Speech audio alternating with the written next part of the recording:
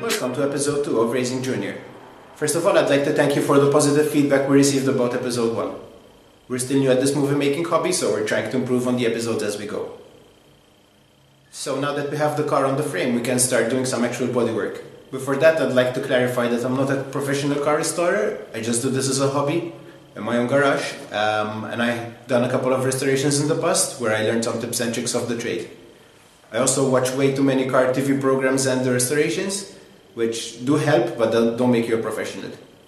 So, enjoy today's episode. Now look at that mess.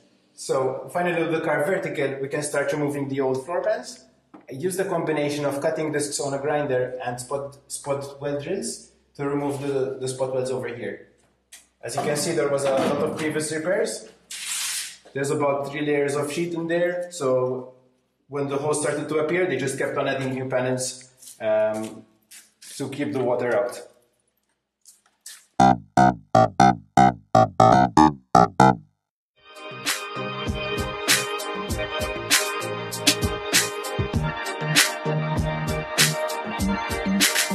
Before I can remove, we can see some other rust repair we need to carry out. This square press section is a part which I don't have, which we'll try to fabricate later. Also the bottom edge of this panel. This edge will be filled in by the new floor pan. Here we fabricated this jig and reinforcement panel. It holds together the gearbox mount with the chassis rail to the clutch pedal assembly. This part is um, welded to the floor pan, so if we remove it, we will lose all the location. Like this, with this jig, we can hold the, the correct position when we weld it back on. This angle here keeps it, helps it keep reference. And we also made a cardboard template for this slot over here, as it's part of the old floor pan, which the, floor, the new floor pan doesn't have, so we need to mark and cut before we weld it in. Moving the old floor pan, we're trying fitting the new one. We needed to bend the edges a little bit to fit the width, but overall it's uh, quite a close fit. Here we're clamping to the old uh, rusty heater channel just for dimensions, just to see the weight of the pan. The next part is to fill in this uh, the square recess play uh, section. Here we can see the gap is quite close. We'll be repairing the other panel too. Okay. After test fitting the new floor pans, we made the template. Just copied the curve on the on the inside edge of the floor pan. We will then transfer this uh, paper template onto the cardboard and we'll make a proper template to cut from steel. So this is what we cut so far. We did keep the uh, the lower section of the of the recess as it was in a better condition. The top part was gone as you have seen in the previous part. We made this template to copy the size of the actual panel we want to remove. After this we made um, a second template where we transferred this dimension and just made it wide enough to accommodate the flaps. Uh, will be welded onto the body. After that, we copied uh, out of the cardboard template a steel plate. We copied the outline, and after this, we're going to bend and then punch the uh, the recess on the center in the right location here.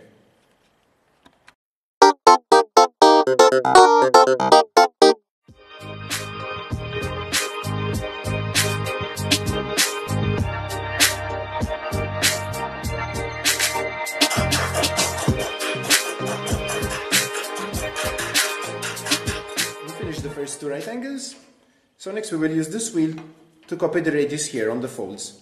We'll hold everything in the press and then we'll hammer the folds up.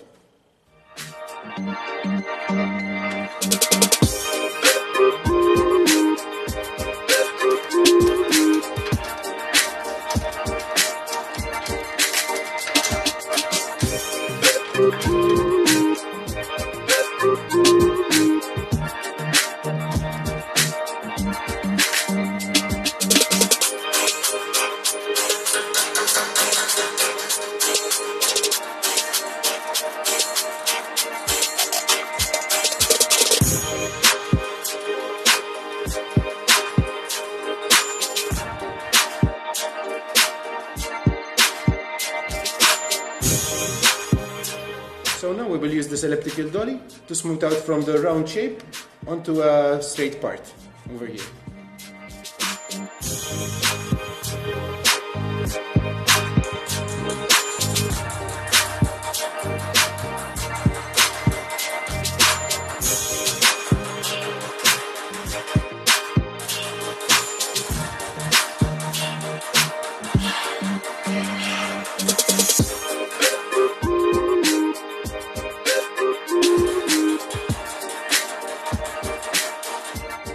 All the corners, we have some overlaps here, which we will trim with a grinder. After the trimming, we can weld them together. The item is almost finished after welding and dressing. Really came out pretty nice. Here we have the components we will use to form the recess. This is the bottom mold with a nest we made on the milling machine. Uh, I used the ball nose end mill just to have a nice radius on the inside. This is the puck that will press the recess in place into the top part. And the wooden, uh, this wooden spacer here will keep the sides of the metal from creasing, so it will be around this area here.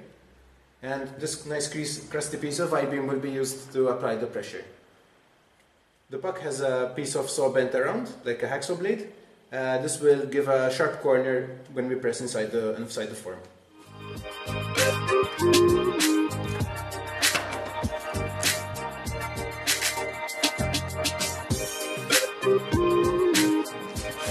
So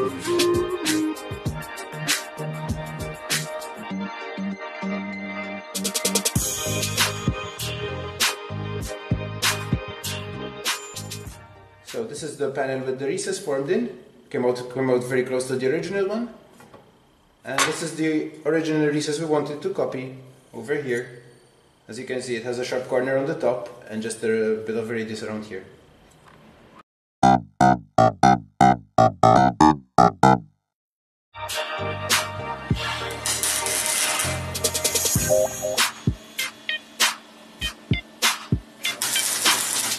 use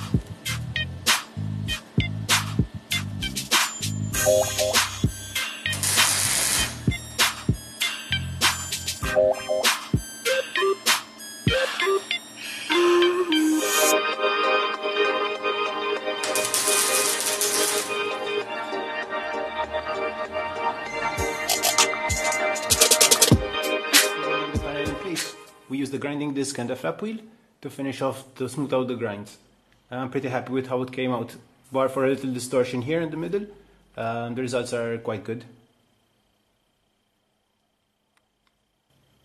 Here we can see the finished repair after a coat of weld-through primer.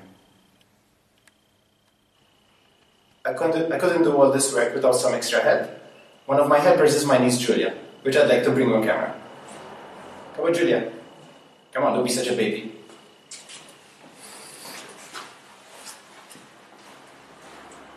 This is my niece Julia.